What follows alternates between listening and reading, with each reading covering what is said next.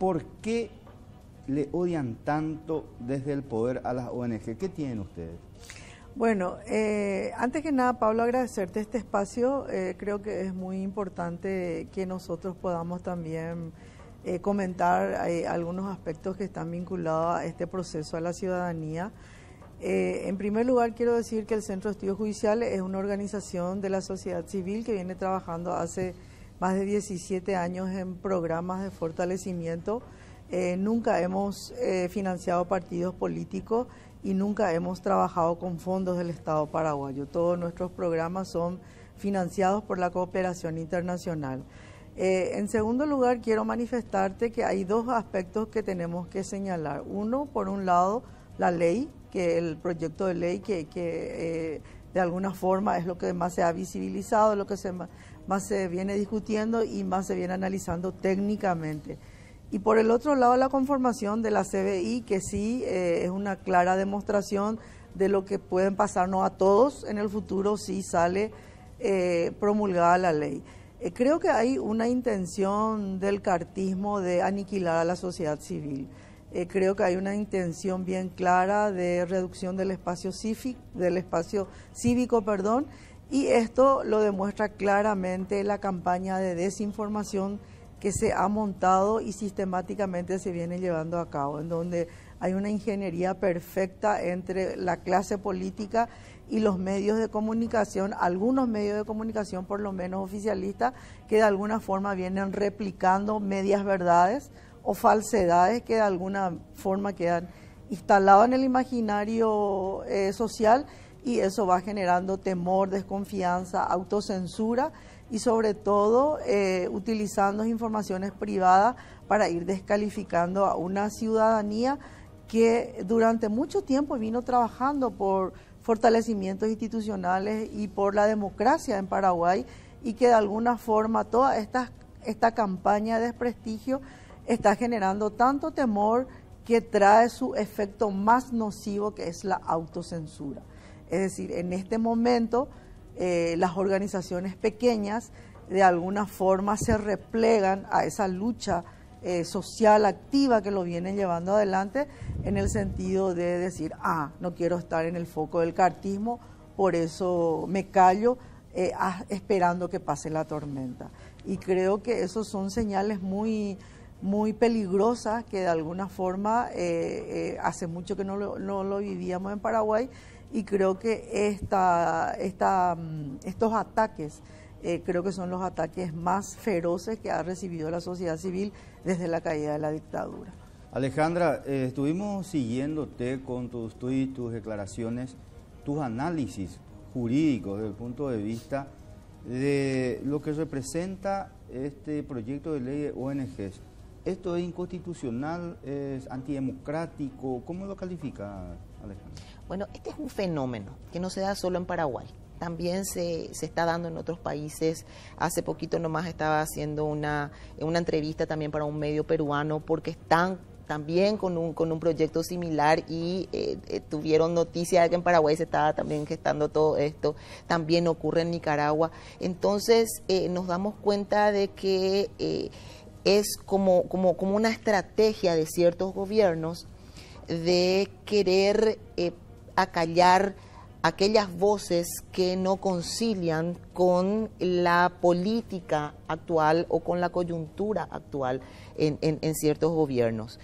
Eh, y esto, ejemplos lo tenemos a lo largo de la historia. Entonces, eh, se acordarán los que vivieron la época astronista, que para Stroessner siempre tenía que eh, haber una sola temperatura en Paraguay.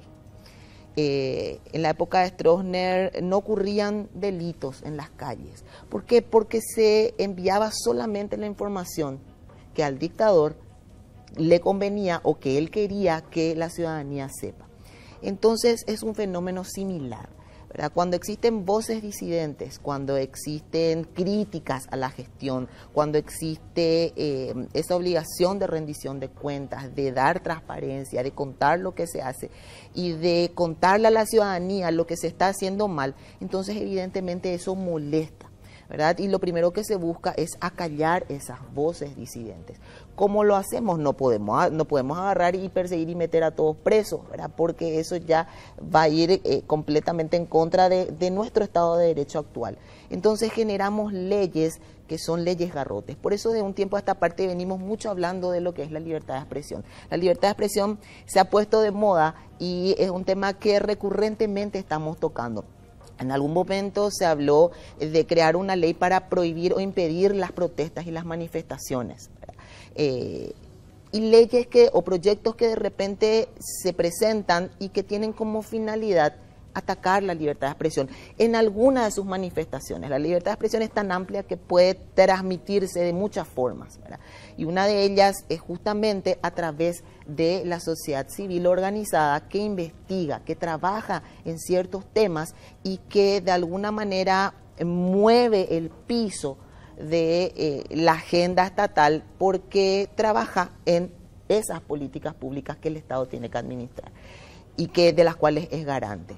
Entonces, como decía María Victoria, María, Victoria constituye una forma de censura indirecta. Al generar leyes que eh, crean o que ponen condiciones o incumplibles o multas exorbitantes, ¿verdad? Que uno se pone a pensar de dónde voy a quitar yo 380 mil dólares si es que no cumplo con alguno de estos requisitos que ni siquiera sé, porque en el proyecto inicial de senadores ni siquiera estaba establecido cuáles eran esos requisitos, ¿verdad? Con las modificaciones del Ejecutivo es como que se empieza a morigerar más la cuestión y empiezan a dar un poquitito más de, de un viso de legalidad a, esa, a ese proyecto de legitimidad. Entonces, eh, eh, uno ya se repliega y uno dice, voy a levantar carpas porque sencillamente voy a terminar yo con mi patrimonio o con algo que ni siquiera tengo, ¿verdad? Endeudando hasta a mis nietos y a mis bisnietos. ¿Para qué? Dice, ¿verdad? Si mi Estado no me protege.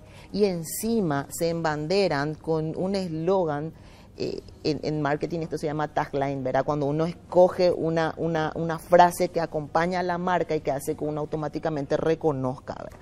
Por ejemplo, cuando uno dice just do it, ¿en qué piensa? Piensa ya en una marca deportiva, ¿verdad? Entonces, cuando uno dice transparencia, transparencia, rendición de cuentas, ¿quién no está a favor de la transparencia? Todas estas organizaciones luchan por la transparencia, son quienes contribuyeron, muchas de ellas, para lo que hoy es nuestra ley 5282 de transparencia gubernamental, por ejemplo, en su momento. Entonces, cuando desde el gobierno se, se, manejan estos, estos conceptos, ¿verdad? transparencia, rendición de cuentas, automáticamente que se capte la adhesión popular, pero sin embargo la ciudadanía desconoce esa finalidad oculta que está detrás de esto. Y es categóricamente, respondiendo a tu pregunta específica, es categóricamente inconstitucional, porque ataca dos libertades fundamentales, que es la libertad de expresión y la libertad de asociación.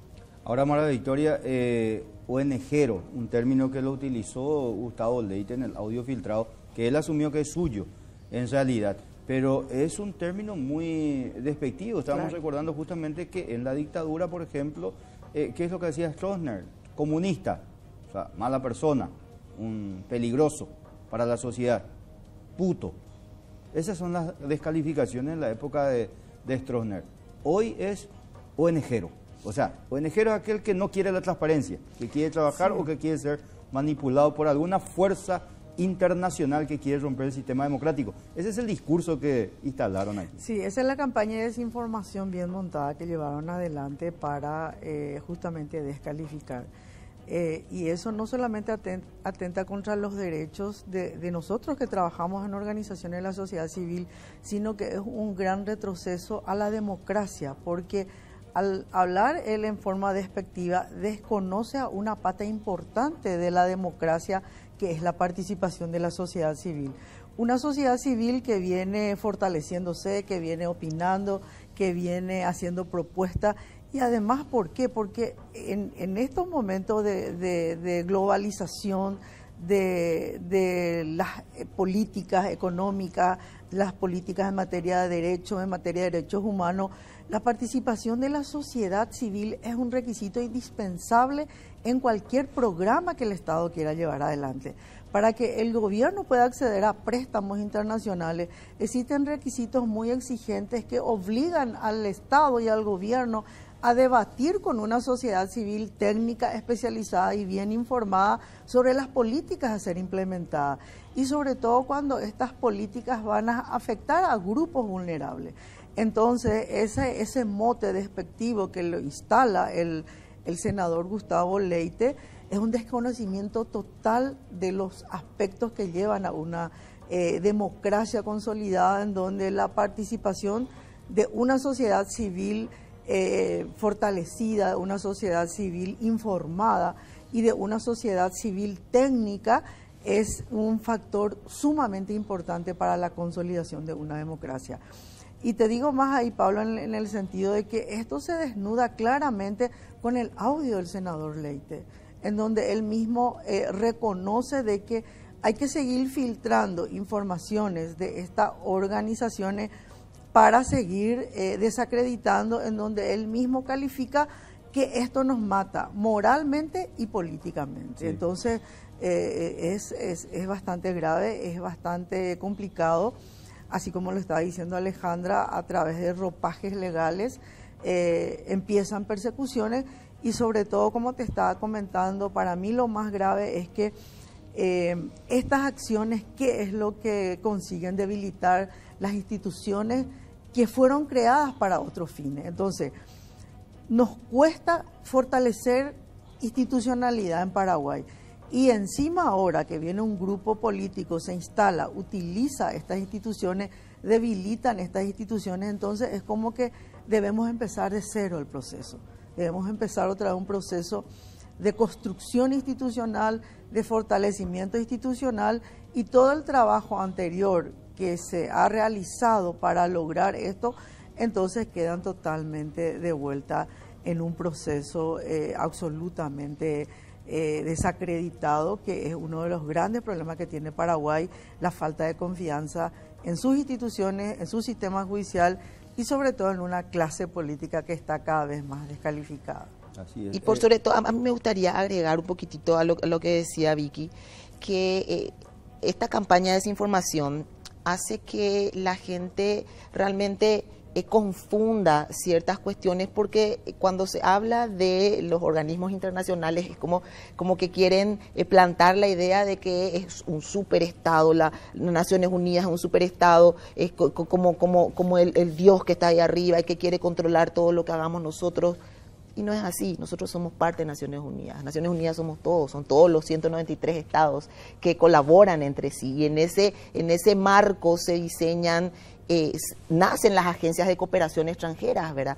Eh, como, como por ejemplo UNESCO, como por ejemplo el, eh, ¿cómo se llama? El PENUMA, PNUD, que han exactamente, que colaboran en varios temas, niñez y adolescencia, alimentación, eh, las campañas para la, buena nutrición y contra la obesidad, eh, la libertad de expresión. Entonces, colaboran con países que están en desarrollo para fortalecer sus políticas públicas.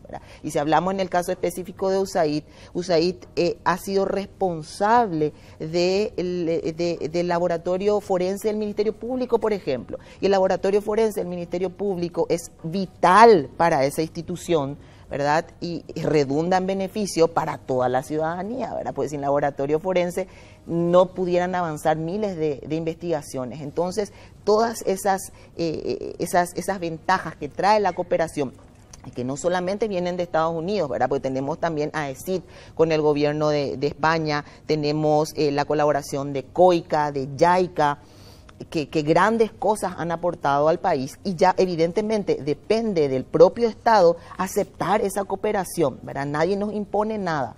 ¿Verdad? Pero si evidentemente uno se da cuenta de que esa cooperación va a servir para dotar toda la infraestructura de, por ejemplo, escuelas, universidades, becas, para que los hijos de, todos los televidentes puedan acceder a una, a una, eh, sus hijos puedan acceder a una educación a la que accede a lo mejor los hijos del presidente de la República hoy sin necesidad de esa cooperación, entonces evidentemente redunda en beneficio para todos nosotros. Y eso es lo que la ciudadanía tiene que saber. Al atacar a ciertas organizaciones, porque ni siquiera se ataca a todas las ONGs, si bien trataron de instalar que ONG cero es mala palabra, ONG es mala palabra, nunca estuvo en la lista de eh, las ONG enemigas, por ejemplo, Cenáculo. Entonces, el propio Bachi Núñez eh, habló de una lista de cuáles son las ONGs que a ellos les molesta. Y justamente estaba diciendo, el CIRT, Semillas, el CEG, especificaba alma cívica.